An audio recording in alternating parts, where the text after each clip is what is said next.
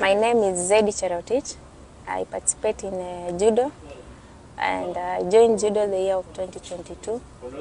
Uh, and I qualified uh, the Olympics through uh, uh, world ranking and I'm very happy to be in the team. I'm very happy for to qualify as, as uh, the first uh, woman, a lady to qualify in the Olympics. I think it was the last uh, 1980 something, and I'm really excited. That means a lot of achieve, achievement to me. It has really brought us, um, uh, me uh, being in this competition.